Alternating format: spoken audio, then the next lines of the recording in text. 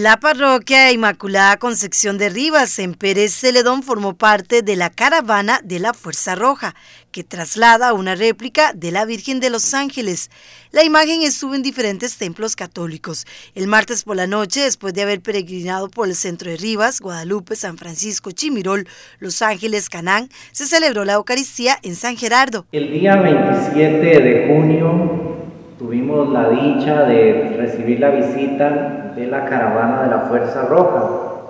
¿En qué consiste esta caravana? Ellos vienen con una imagen de la Virgen de los Ángeles que según nos comenta don Jorge Araya, promotor de esta actividad, se conserva en la Basílica de los Ángeles y cuando se solicita para peregrinar las distintas parroquias viene directamente desde allá de Cartago. Diferentes personas se sumaron a esta actividad. En los años 90, cuando era muy común escuchar sobre asesinatos o secuestros de taxistas, un grupo de taxistas pidieron a las autoridades de la iglesia de aquel entonces poder llevar una imagencita de la Virgen de los Ángeles en peregrinación por diversos lugares, implorando la protección del Señor por medio de María Santísima.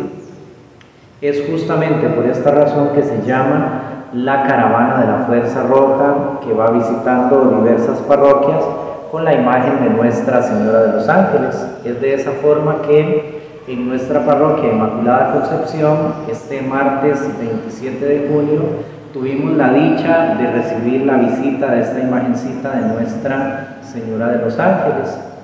Llegó en primer lugar a eso de las 11 y 30 de la mañana a este templo parroquial en honor de María Inmaculada y después de aquí se trasladó en peregrinación y en caravana por distintas filiales del sector Chirripó, pasando por la comunidad de Guadalupe, la comunidad de San Francisco, Chimirol, para luego ir a Los Ángeles de Rivas, pasar por Canán y concluir este trayecto a las seis y media de la noche en la comunidad de San Gerardo, donde a las 7 se celebró la Santa Eucaristía en honor de María Santísima.